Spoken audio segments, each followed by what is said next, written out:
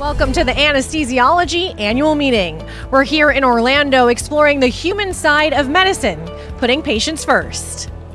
I mean, you, you know, we are given the privilege of touch in this context. It's part of our fiduciary responsibility to the patient.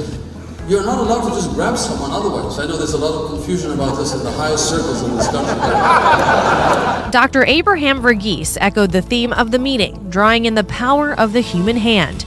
He reminded all of us to not lose focus of the patient, even as technology evolves and more offices rely on it. And I always felt that if the patient gave up the quest for the magic blood test, the magic, you know, the magic doctor, the magic this, and just began a partnership with me towards wellness, it was because something had transpired in that exam. One big takeaway evaluate your patient relationship. Are you treating your patient like a human patient or an iPatient?